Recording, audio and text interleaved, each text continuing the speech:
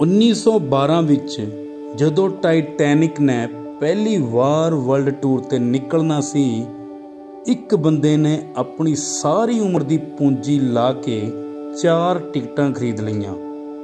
ਦੋ ਆਪਣੀਆਂ ਤੇ ਦੋ ਆਪਣੇ ਬੱਚਿਆਂ ਲਈ। ਉਹ ਸਾਰੇ ਬਹੁਤ ਖੁਸ਼ ਸਨ। ਪਰ ਅਚਾਨਕ ਘਰ ਵਿੱਚ ਰੱਖੇ ਹੋਏ ਕੁੱਤੇ ਨੇ ਇੱਕ ਬੱਚੇ ਉੱਤੇ ਹਮਲਾ ਕਰ ਦਿੱਤਾ। ਉਹ ਬੱਚੇ ਨੂੰ ਘਰ ਛੱਡ ਕੇ ਨਹੀਂ ਜਾ ਸਕਦੇ ਸੀ। ਇਸ ਉੱਤੇ ਉਸ ਦੀ ਘਰਵਾਲੀ ਨੇ ਕਿਹਾ ਕਿ ਤੁਸੀਂ ਇਕੱਲੇ ਹੀ ਚਲੇ ਜਾਓ। ਪਰ ਉਸ ਬੰਦੇ ਨੇ ਬਹੁਤ ਸੋਚਿਆ ਕਿ ਹੁਣ ਕੀ ਕਰਾਂ। ਸਾਰੀ ਪੂੰਜੀ ਵੀ ਲਾ ਦਿੱਤੀ ਹੈ।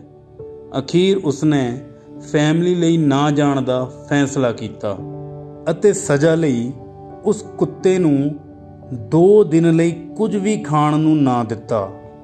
ਕਿ ਇਸ ਦੀ ਵਜ੍ਹਾ ਕਰਕੇ ਅੱਜ ਟਾਈਟੈਨਿਕ ਦਾ ਇੰਨਾ ਸੋਹਣਾ ਟੂਰ ਮਿਸ ਹੋ ਗਿਆ। ਹਫ਼ਤੇ ਬਾਅਦ ਖਬਰ ਆ ਗਈ, ਟਾਈਟੈਨਿਕ ਡੁੱਬ ਗਿਆ।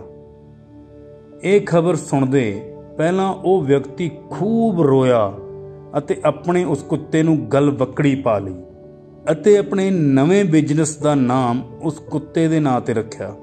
ਕਈ ਵਾਰ ਕੋਈ ਅਜਿਹਾ ਕਾਰਨ ਬਣ ਜਾਂਦਾ ਹੈ ਕਿ ਤੁਹਾਡੀਆਂ ਬਣੀਆਂ ਬਣਾਈਆਂ ਯੋਜਨਾਵਾਂ ਕੁਝ ਮਿੰਟਾਂ ਵਿੱਚ ਹੀ ਰੱਦ ਹੋ ਜਾਂਦੀਆਂ ਨੇ।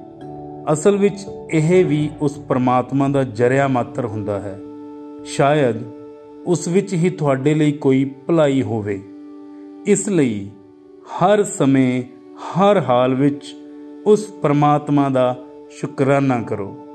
ਮੈਂ Sahib Singh, plus TV HD ਤੋਂ ਲਾਈਕ ਕਰੋ ਸਬਸਕ੍ਰਾਈਬ ਕਰੋ ਸ਼ੇਅਰ ਕਰੋ ਕਮੈਂਟ ਕਰੋ।